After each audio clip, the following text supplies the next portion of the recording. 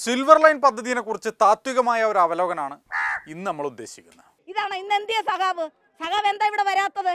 സഖാവ് കൂടെ വരട്ടെ. വിളിക്ക. മന്ത്രി സജി ചെറിയാനെ വിളിക്കേ. മിനിസ്റ്റർ വാ.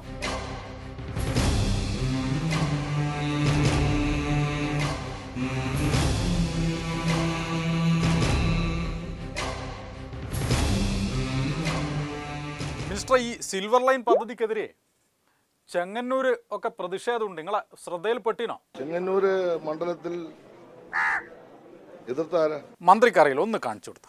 ഞങ്ങൾ അറിഞ്ഞിട്ട് പോലുമില്ല. ഞങ്ങളുടെ നാട്ടിൽ ഞങ്ങൾ ജയിപ്പിച്ചു വിട്ട ഒരു മന്ത്രിയാണ് ഞങ്ങളെ കുടിയിറക്കാൻ ഇപ്പം മുൻകൈയെടുത്ത് നിൽക്കുന്നത്. മിനിസ്റ്റർ ഇവർ ഇങ്ങനെയല്ലാന്ന് പറയുന്നു. ഈ ഭൂമി പോകുന്നവരാണ് അല്ലേ? പിന്നെ ഞങ്ങളുടെ വീടിന്റെ നടുക്കൂടെ കൊണ്ടുവന്നിരിക്കുന്നത്. ഞങ്ങൾ ഞങ്ങളിപ്പോ ഇതുകൊണ്ട് പോലീസ് അറസ്റ്റ് ചെയ്തുകൊണ്ട് പോയി എന്ന് പറഞ്ഞു മിനിസ്റ്ററെ? എന്താ അവിടെ സംഭവിച്ചത് അവർ വന്നത് വലിച്ചഴിച്ചോണ്ടാ പോന്നത് വലിച്ചഴിച്ചോണ്ടാ കൊണ്ടുപോകുന്നത് അതറിയാമോ? ഞങ്ങൾക്ക് വലിയ സങ്കടമാണ് സഖാവ് ഞാൻ എപ്പിസോഡ് തുടങ്ങുമ്പോഴേ പറയണമെന്ന് വിചാരിച്ചാണ്. തീവ്രവാദ സംഘടനകളുടെ സാന്നിധ്യം ഇതിന്റെ പിന്നിലുണ്ടോ എന്ന് എനിക്ക് നല്ല ഡൗട്ട് ഉണ്ട് സഖാവെ. ഞാൻ പച്ചയ്ക്ക് പറയാണ്. തീവ്രവാദ സംഘടനകളുടെ സഹായത്തോട് ഓ. ആളുകളെ ഇളക്കി വിടുകയാണ്. കറക്റ്റാണത്. അൽഗ്വൈദന്റെ ഒരു ഭീകരൻ ചെങ്ങന്നൂരിലെ രാമാട്ടന്റെ പീടിയെന്ന് ചായ കുടിക്കുന്ന ഞാൻ ഈ കണ്ണോണ്ട് കണ്ടയാണ്. ഉള്ള തന്നെ ഞാൻ പറയുന്നത് ഇതിനൊരു പണം ഉൾപ്പെടെ ഈ കേരളത്തിൽ ഇടതുപക്ഷ ജനാധിപത്യ മുന്നണി ഗവൺമെന്റ് നേട്ടങ്ങളെ ഇല്ലായ്മ ചെയ്യാൻ വക്രീകരിക്കാൻ തകർക്കാൻ പണമടക്കം കൊടുത്തുകൊണ്ടുള്ള ബോധപൂർവമായ ശ്രമം നടക്കുന്നത്. ഇതിനകത്ത് ജനങ്ങൾ വീഴരുത്. ഇത്രയും ജനങ്ങൾ ഞങ്ങൾ തേച്ചുമലക്ക് ജീവിക്കുന്നവരാ. സഖാവെ ഇവരൊക്കെ പരിചയമുണ്ടാ? നിങ്ങൾക്ക് വോട്ട് ചെയ്തവരാ? ഇതിൽ നല്ല ഞങ്ങളുടെ നെഞ്ചു ചവിട്ടി പോകുന്ന മന്ത്രി ഏറ്റവും ചെയ്യുന്ന ഉപകാരം Uduma M L A C H കുഞ്ഞമ്പൂനെ എന്തോ ഡൗട്ട് ഉണ്ട് സജി സാറെ. ചോദിച്ചോ? ഈ ലൈനിന്റെ എത്ര മീറ്റർ അകലെയാണ് പുതിയ നിർമ്മാണങ്ങൾ നടക്കുക എന്നാണ് ഒരു സംശയം വരുന്നത്. മിനിസ്റ്ററെ സിൽവർ ലൈൻ പദ്ധതിക്ക് ബഫർ സോൺ ഉണ്ടാവുമോ എന്നാണ് മൂപ്പര് ചോദിക്കുന്നത്. ഒരു കിലോമീറ്റർ അങ്ങോട്ടും ഇങ്ങോട്ടും ബഫർ സോണാണ് അങ്ങോട്ട് സമ്പൽ ഒരു മീറ്റർ ബഫർ സോൺ ഇല്ല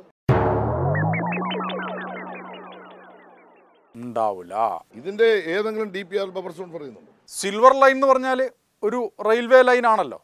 സ്വാഭാവികമായിട്ട് അതിന്റെ അപ്പുറത്തും ഇപ്പുറത്തും ഒക്കെ നിയന്ത്രണങ്ങൾ ഉണ്ടാവും എന്തായാലും ഉണ്ടാവും. അതിനെയാണ് ഈ ബഫർ സോൺ എന്ന് പറയുന്നത്. അപ്പം മിനിസ്റ്റർ പറയുന്നത് അതൊന്നും ഉണ്ടാവുകയേ ഇല്ല എന്നാണ്. മൂപ്പർക്ക് ഈ വിവരം എവിടുന്ന് കിട്ടിയെന്തോ നിങ്ങൾക്ക് ഉറപ്പല്ലേ? ഞാൻ ഉറപ്പിച്ചു പറയുന്നു ഞാൻ കേരളത്തിൽ മന്ത്രിയാണ്. കഴിഞ്ഞ ആഴ്ച നിയമസഭയിൽ ഒരു ക്ലാസ് നടന്നിനായിരുന്നു. അത് എം എൽ എമാർക്കും മന്ത്രിമാർക്കൊക്കെ വേണ്ടിയിട്ടായിരുന്നു ആ ക്ലാസ് കേരളിന്റെ എം ഡി ആണ് ക്ലാസ് എടുത്ത് അത് പത്ത് മീറ്ററിനകത്ത് തന്നെ ഒരു അഞ്ച് മീറ്ററിൽ കൺസ്ട്രക്ഷൻ ഒരു സേഫ് സോൺ ഉണ്ട്. അതായത് അഞ്ച് മീറ്ററിൽ കൺസ്ട്രക്ട് ചെയ്യാൻ പാടില്ല. നിങ്ങൾ അവിടെ ഇല്ലായിനോ സജ്ജേട്ടാ? ഉറങ്ങിപ്പോയിനോ? കുഴപ്പമില്ല. ബഫർ സോണാണ് പറഞ്ഞത്?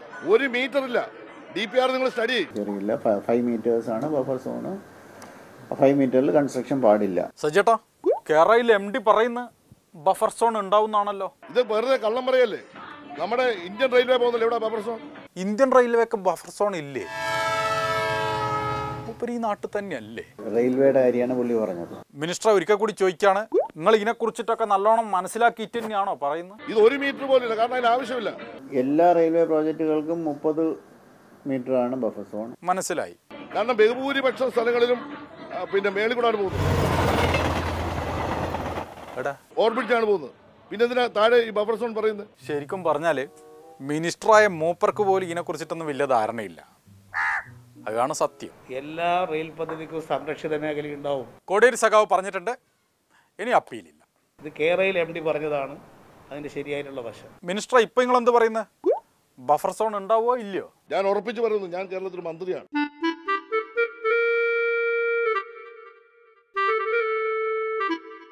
മൂപ്പര് വിടുന്ന മട്ടില്ല കേട്ടോ. മിനിസ്റ്റർ കോടിയേരി സഖാവ് പറഞ്ഞിട്ടുണ്ട്? ഇല്ല ഞങ്ങളെല്ലാം പറഞ്ഞത് ഒന്ന് തന്നെയാണ് ബഫർ സോൺ ഉണ്ടാവുന്നാണോ? ഉണ്ടാവില്ല എന്നാണോ നിങ്ങളെ അഭിപ്രായം?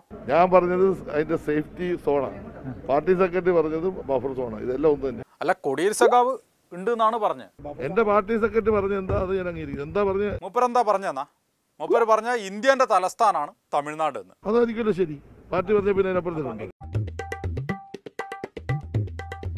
അതെ ശരിയാണത്. മന്ത്രിയായിട്ടുള്ള സജി ചെറിയാൻ വരെ ഇതിനെക്കുറിച്ചിട്ടൊന്നും വലിയ ധാരണയില്ല. എന്നിട്ടാണ് ഇവർ നാട്ടുകാർക്ക് ക്ലാസ് എടുക്കാൻ വേണ്ടി പോകുന്നത്. ആളുകളെ തെറ്റിദ്ധരിപ്പിക്കുകയാണ് പല ആളുകളും ചെയ്യുന്നത്. അപ്പോൾ എല്ലാ ആളുകളും പഠിച്ച് ഈ കാര്യങ്ങൾ വിലയിരുത്തുകയാണ് വേണ്ടത്. ഞാൻ ഉറപ്പിച്ചു പറയുന്നു ഞാൻ കേരളത്തിൽ മന്ത്രിയാണ്. അത് മനസ്സിലായിന് എപ്പോ എപ്പം പറയണമെന്നില്ല കേട്ടോ. ഞങ്ങളുടെ നാട്ടിൽ ഞങ്ങൾ ജയിപ്പിച്ചു വിട്ട ഒരു മന്ത്രിയാണ് ഞങ്ങളെ കുടിയിറക്കാൻ ഇപ്പം മുൻകൈയെടുത്ത് നിൽക്കുന്നത്.